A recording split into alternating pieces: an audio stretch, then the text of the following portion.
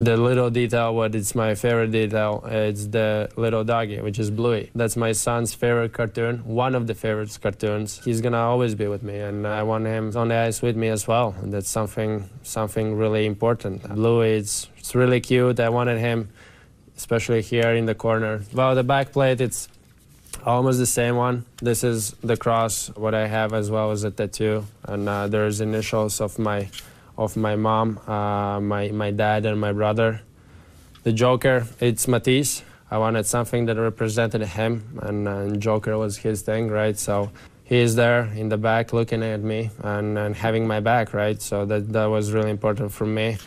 And the Powerpuff Girl, that's my wife. That's her favorite character of cartoons when she was a kid. I don't know the name, but I know that she's the calm one, but the psycho one.